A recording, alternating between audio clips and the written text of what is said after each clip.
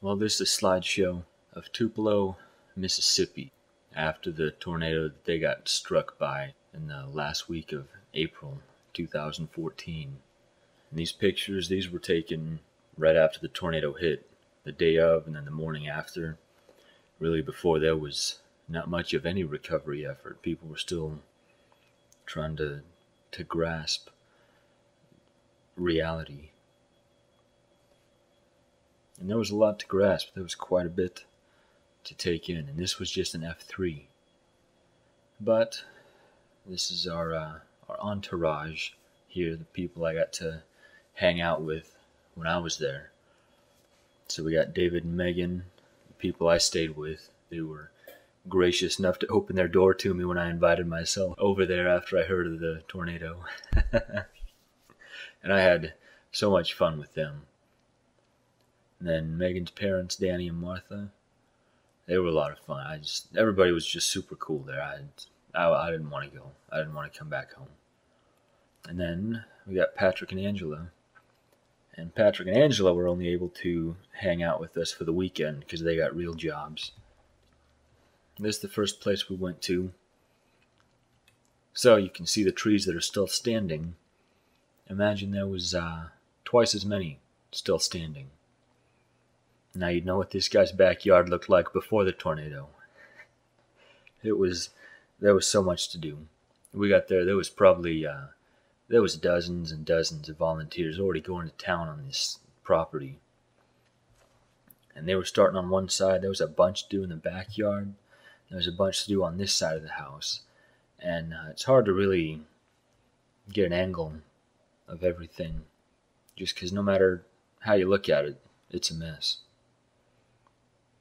So we started cutting, started hauling stuff towards the street, because that's the rules. If you want it dumped, you got to get it within 25 feet of the road. That way they can come pick it up with their big fancy equipment and you can see these trees just got mangled, just straight to death, most of them. And then you see that blue tarp on the guy's house. There was three logs resting on the corner of this dude's home. Somebody asked him how his roof was. He was like, "Oh, it's in my closet." you know, these people were good sports about it, but uh, what choice do you have? You know, either that or you can just be in a bad mood for all these people that are coming to help. there was a bunch of people that had heavy equipment too, like this guy. Uh, he was very short tempered. So we got most of the stuff out of the way enough for him to be able to get in there and pull those off the house. The homeowner, the guy there on the, the far right, he wasn't really feeling it at first as far as us getting the logs off the corner there. And then his insurance agent's like, well, you can save a grand if you get rid of those trees right now. So the guy comes over to all of us and he's like, well, let's do this. And then he watched.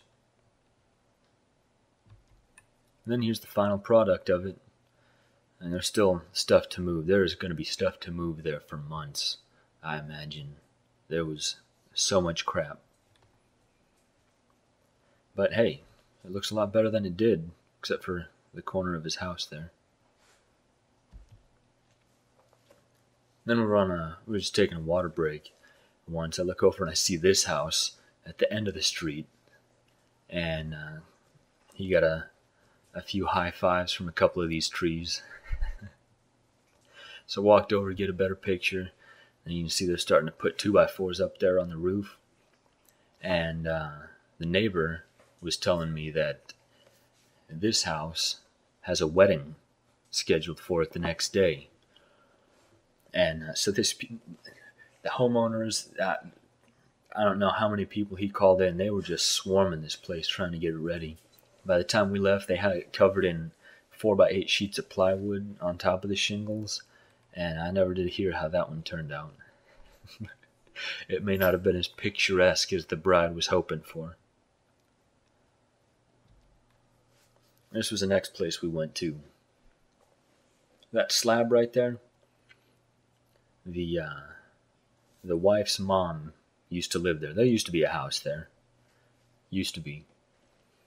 The couple. I never did meet the the mom. It was the wife's mom, and the wife was inside most of the time. She had a hard time containing her emotions, especially when complete strangers showed up just to help out, not asking for anything. That really, really messed with her in a good way. So, the husband, he was saying that he moved all this stuff back onto the slab and he was helping us pick through all that crap back there in the trees and just sorting out what can be burned, what can be taken to the street, what needs to be set aside that's just sentimental value or can still be salvaged or whatever. And there was uh, a there was a lot of stuff to salvage and just to deal with in general.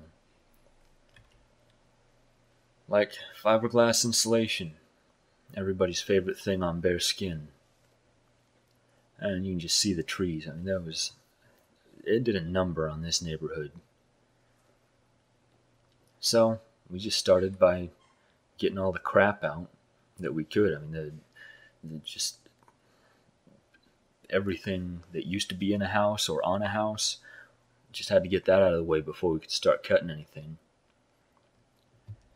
And David and Megan are there sporting the four wheeler. They got a trailer behind them. And then we just load stuff up on that and then drive it to the street and dump it and come back for more.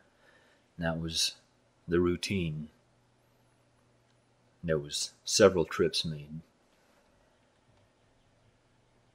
So, did that, got it clear enough. And then we started getting trees out of the way. And then we uncovered a couple of sheds that we couldn't even see at first. I didn't notice them. We ended up just cutting stuff, having fun with it. And then we were talking to the homeowners just about their experience with it.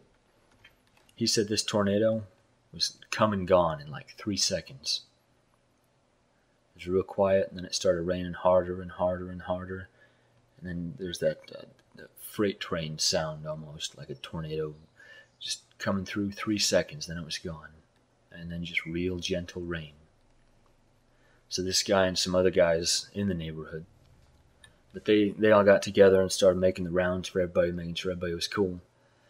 And he said they got to the to the neighbor's house across the street, started checking on her, and they couldn't even find her trailer. So we were looking. He ended up pointing to where it used to be, between uh, that white van and the, the pile of rubble across the street, somewhere over there. But he said the tornado went right through the middle of that trailer, just sliced it in half, and half her trailer came and landed over on the other side of all the trees we were cutting, and the other half went the other way. But she survived. I guess she was under like eight feet of debris. And uh, the husband of this couple and a few other guys were digging stuff up and kept hearing her go, ouch, ow. And the guy was like, man, I figured, I thought sure she was all busted up, but we got her uncovered, man. All she needed was like 30, 40 stitches, and she's fine. And it was, it seemed like everybody we talked to was just astounded that there was not a single fatality.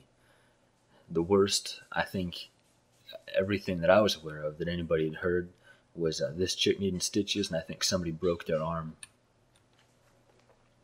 This next place, man, this was a. Uh, this guy had some trees. If you can't tell by this one here, there's Megan and Danny sizing everything up when we first got there.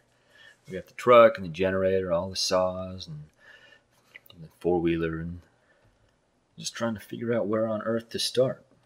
Because there was four trees, no, five trees, plus whatever was in the backyard. Nobody, none of us went back there because that's where the homeowner and his family were working, getting their stuff cleaned out back there. So we just started out here. And uh, I took this half of this tree, and then Danny ended up taking the other. and uh, just went to town on this one. Ended up getting all the. It's hard to call those branches when they're the size of other trees, but we got them down. Just left with an enormous, enormous stump. I mean, the base of that tree was probably at least four feet across.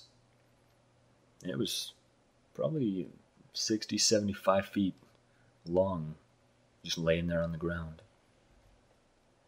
And then that was after my reign of terror. I still had to cut some of those logs up into pieces so we could get them on the trailer. But as David and Megan and Martha sizing up the damage, it really is a lot of fun doing that stuff. Then there's Danny on the other side doing his thing.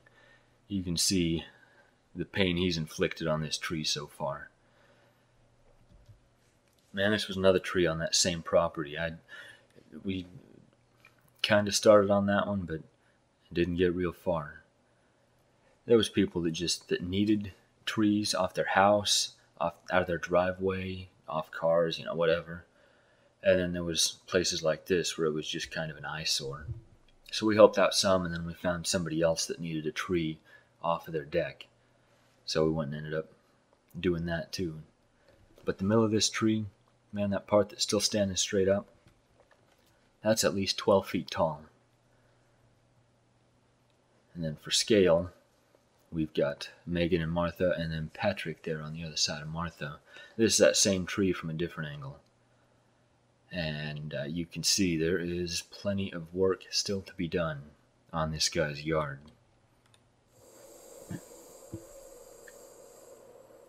This house, this guy had done a bunch just by himself. But, you know, when you're just one dude, you can only do so much.